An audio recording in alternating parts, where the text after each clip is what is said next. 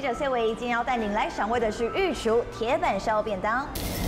将牛油不断淋到牛排上头，有了这层油脂的包覆，不仅能让表面口感酥脆，还能让肉汁紧紧锁在里头。有些客人感官会觉得说，怎么会一直在多油？但其实，在温度够的情况下，食材是不会吃油的。将煎好的牛排一刀切下，内层肉质呈现淡淡粉红色，这是铁板烧餐厅的外带商务便当。当然，还不能忘了铁板炒饭。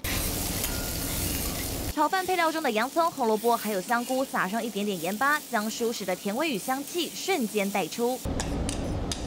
事先就先将白饭浸泡在黄澄澄的蛋液里头，要让每粒米饭都吸附饱满蛋汁。这饭我们覆盖在食蔬上，让它去吸收一些食蔬的甜味。师傅快手翻炒，让金黄色的米粒在铁板上不断翻腾，这是让口感加分的关键。是因为我们的蛋跟饭呢，它是和在一起的。